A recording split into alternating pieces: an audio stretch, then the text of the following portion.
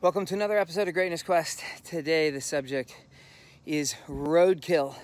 I'm about to go over and see those vultures who are feasting on some roadkill. We're going to talk about the most dangerous place for you and I to be in our business. I know you're going to love the show. Cowboy. Welcome to a daily dose of greatness quest with your host Trevor Crane, my daddy. He is going to help you take your life and business to the next level. Here I come to save the day. Trevor Crane here, 11 time number one best selling author and the founder of Epic Author Publishing, coming to you live every day so you can plug in every day to build your ideal business so you can live your ideal life. If my daddy can do it, then anybody can do it because he's a weirdo. It's supposed to make me sound cool. Okay, so welcome back. Um, I'm riding my bike back from the gym. I actually just had three workouts this morning. Uh, I worked out with my trainer, trying to get my body more powerful and strong. I want to be like The Rock, even though I'm small and white. and then I went to private tennis practice and uh, tennis lessons because I want to get better at tennis. And here I see the carrion. Oh my God, this is this reeks. I have no idea what critter this is. Oh, I think I know. It's probably an armadillo. All right, this is a dead armadillo. And look at the vultures. Look at the carrion. Look at this. Holy crap. That's what?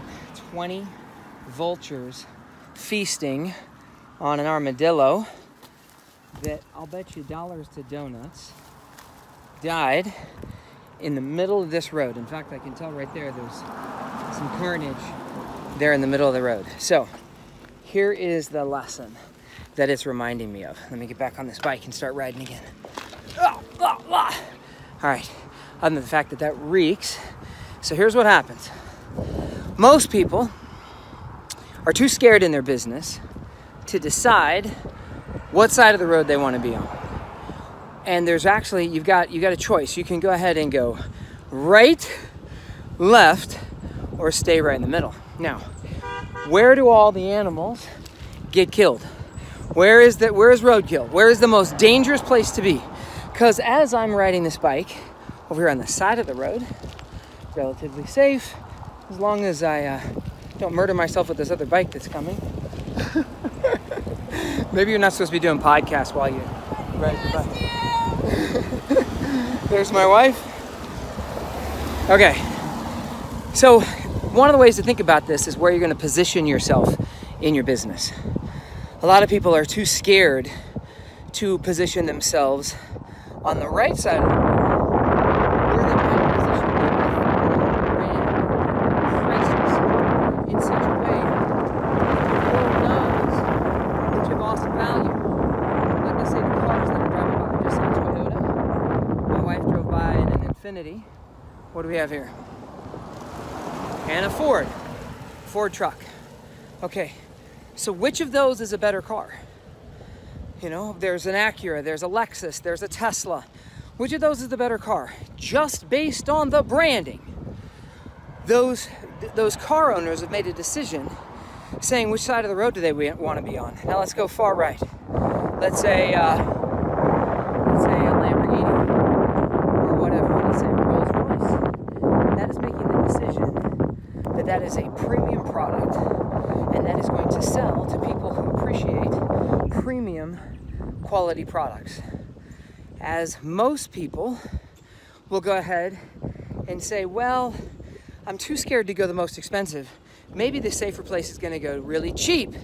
But then they know that if you go to the dollar store to buy something, unless it's like soap for your store, you know you're buying something that's crap. You know you're buying a low quality product when you position your pricing and who you're going to serve over on the left side. Now, what do most people do? Most people don't want to be considered that they're the cheapest, so they won't go all the way on the left. They'll try to go somewhere in the middle. And then they're dancing in between where they, you know, they, they, they, they, they really don't appeal to the high end and they really don't appeal to the low end. Instead, they're just dancing in the middle of the road. And it's fine. Whoa! They can go ahead and it might feel safe. There's all this space in the middle of the road. We're like, oh my gosh, look how much room I have. It's so nice. But this is the most dangerous place with your brand and in your marketing and in your positioning. Most people are scared to make a stand. My challenge for you today is to make a stand. Decide, make an opinion. I just uh, recorded a training yesterday on uh, media secrets for authors. And one of the things that my buddy Jess Todtfeld, who uh, wrote the book Media Secrets, was talking about, we just created a little program for my all my uh, epic author clients, is he said, you need to have an opinion. Don't be wishy-washy and say, well, this is kind of maybe the greatest thing ever. No, you make a decision and you you you own it. You say, this is the shit whatever it is, have an opinion. Somebody is going to like it, someone is probably not going to like it, and in fact, probably the more powerful part of our brands is who we repel versus who we attract. I also just saw Joe Rogan last night do his stand up, a Netflix special. Freaking hilarious. Totally uh, advise that you check that out. But uh, I guarantee you that there are a lot of vegans out there that aren't to like Joe Rogan. A lot of cat lovers out there that aren't to like Joe Rogan. I am sure he pisses off so many damn people. So my challenge to you is twofold. Number one, decide what side of the road you're to be on. You know, are you going to position yourself and your brand as being somebody who is high end? And then you, you're going to serve people that want this premium product or service, or are you going to position yourself as low end? And it's okay. There's people who make millions of dollars selling low end, cheap stuff. That's totally fine. But the danger spot is here in the middle. That's question number one. Challenge number two and question number two is along the lines of, of making a stand, having an opinion about something. So make an opinion. Actually, here's challenge number two piss somebody off. Uh, what is it? I think it was Dan Kennedy. I can't remember who it was that said, if you haven't pissed off five people before lunch, then you're not doing your, you're not marketing hard enough. so I don't know what that means for you. That's all I got for you today make sure that you make a stand. Don't end up like roadkill, dead in the middle of the road. All right? That's all I got for you today. Make today magnificent, and I'll see you tomorrow. Another daily dose of greatness quest later. To get even more awesomeness, which means all my best stuff, download my app by texting Trevor to 36260. It will show up right on your cell phone. Just text message the word Trevor to 36260. Talk to you soon.